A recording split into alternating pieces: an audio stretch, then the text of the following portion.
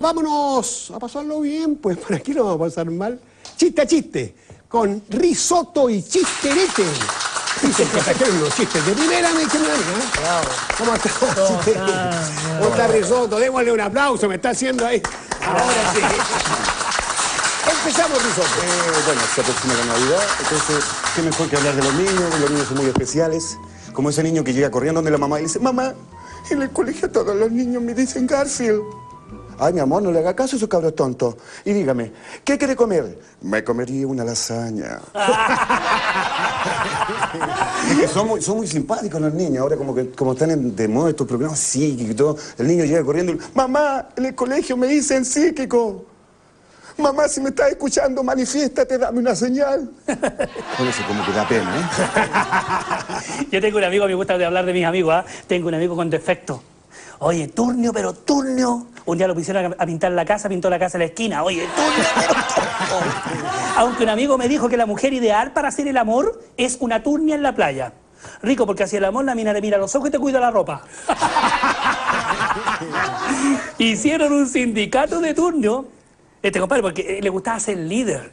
Así que viene a organizar por la municipalidad, llevarlos a todos los turnios a Viña del Mar a conocer la quinta región. Oigan, en el bus ahí, y se paró cuando llegaron a la quinta región, a Viña, al centro, el monitor, el guía que llevaban. Y dice, señores turnios, si ustedes miran a la izquierda, a la derecha verán la quinta Vergara. Es que la característica del chileno es reírse de la desgracia de los demás, para que de, lo- de los defectos, para que estamos con cosas. Si, si un chileno va caminando y se encuentra frente a frente con un turnio, lo va a molestar, le va a decir, "Eh, ese turnio, y el turnio te va a contestar, ah, son valientes todos porque son dos. Porque no nos quedamos callados, ¿eh? A propósito, cuando yo venía para acá, venía en el metro.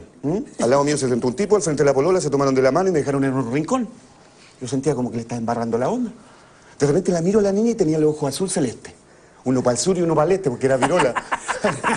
la, cosa es que, la cosa es que el tipo la toma de la mano y le dice con voz profunda, mi amor, ¿qué ves en mis ojos? Y él dice, prohibido fumar y para allá escape.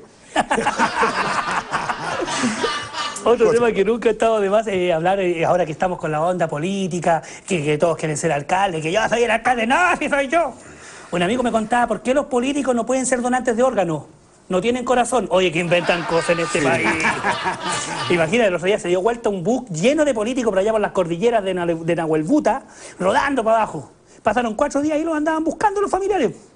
Así que agarraron un lugareño y le dijeron, oiga señor, ¿usted no vio por aquí un bus lleno de políticos que se perdió hace cuatro días?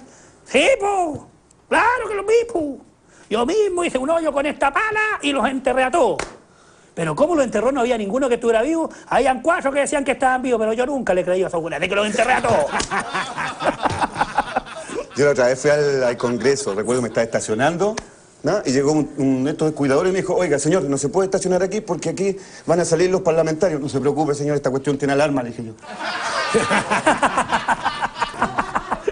Eh, los niños son muy especiales, ¿ah?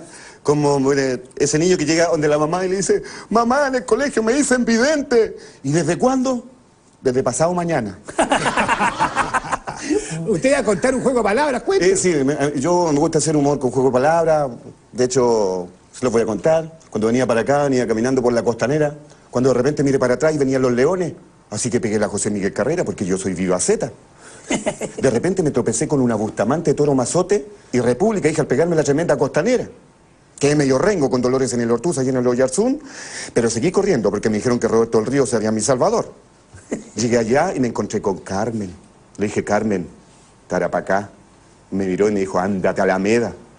Y después me contó que había estado Mercedes, los tres Antonio, que le habían pasado un golf y estaban estado esperando un huérfano. Este cabrón chico que viene y dice al señorita, señorita, ¿me da permiso ir al baño?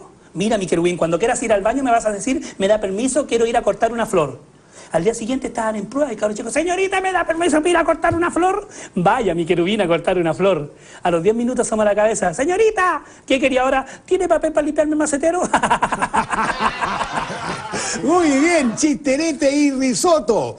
Para risotto, escuche, el arte de no amargarse la vida. Ah, excelente, excelente. De la Feria Chilena del Libro y un recuerdo de mi misa Petrich. Muchas Y- gracias, Y muchas para gracias. chisterete, Leones, la U más exitosa de todos los tiempos. Mire, qué bien, ¿ah? Y también un recuerdo de Misa Petrich. Muchas, Muchas gracias, gracias. Risotto. Nos Muy vemos. amable, Asiento, por favor, asiento. Gracias. Gracias, Un aplauso para ellos.